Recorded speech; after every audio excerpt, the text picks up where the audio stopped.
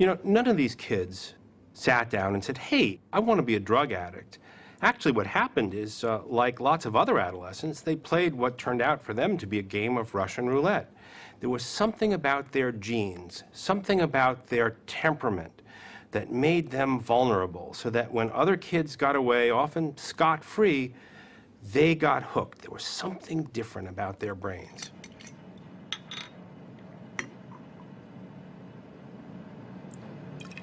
We've got some alcohol in here, and our job now is to help you to consume this beverage in about a 10 minute period.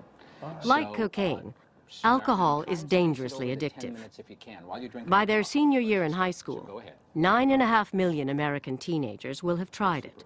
So, you've been watching the sports? At the San Diego Veterans Hospital, Marc Schuckit is trying to understand what makes some of these teenagers more vulnerable to alcohol than others. Oh, yeah, sure. That's super. That's great.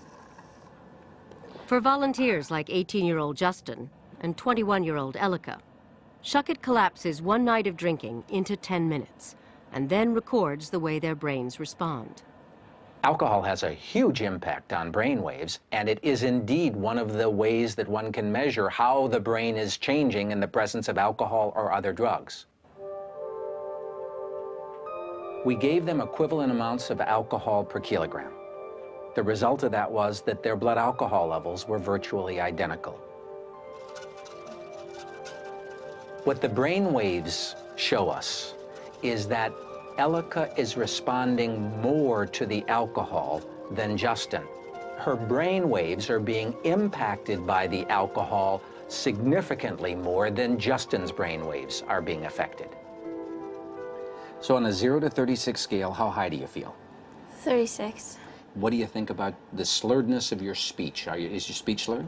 Mm, I don't think so, but it's prob- probably is. It's probably like uh, 20. Okay.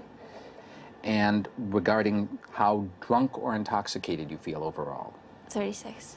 and she was having difficulty concentrating, was having problems focusing on exactly what it was that we were talking about, and she had some pretty darn good insight that she was feeling pretty high. And on a 0 to 36 scale, how high, using that term generically, feeling high or intoxicated are you? Nothing. I don't feel anything really, like maybe a one. And how about how clumsy you feel you might be? Nah, zero. And um, problems where you feel like you're floating? Zero. Got it.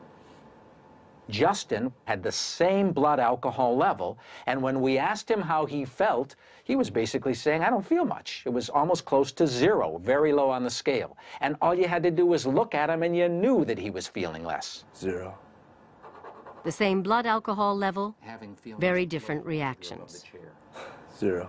The two people are starting out their drinking evenings with basically different equipment on board. Elika, after one or two drinks, is likely to look around and say, I'm getting pretty high, I'd better slow down. And a 0 to 36 Justin, scale, we would guess when he goes to a party, just having a couple of drinks, he probably looks around and says, well, what's the big deal? And he's probably more likely to go on to three, four, or five. Yeah, zero on that. Justin gets drunk. It just takes Justin a lot more alcohol to get drunk than Elika. Even though Justin's brain responds more slowly to alcohol, he is more likely than Elika to become an alcoholic. Because he is less aware of alcohol's powerful effect, he may keep drinking when Elika might stop, exposing his brain to ever higher levels of alcohol and increasing the chance that he will become addicted.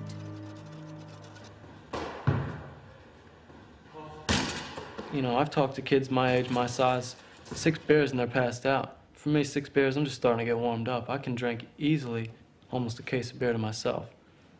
You know, I have alcoholism in the family, you know, going back generations, and I'm sure that plays a major role. But it seemed like One of the major reasons why alcohol dependence is running in families is because people inherit genes that impact on how their brains function. We found that a low response to alcohol is associated with a high risk for alcoholism regardless of your family history. But if you have both, a family history of alcoholism and a low response to alcohol, your risk is really quite large.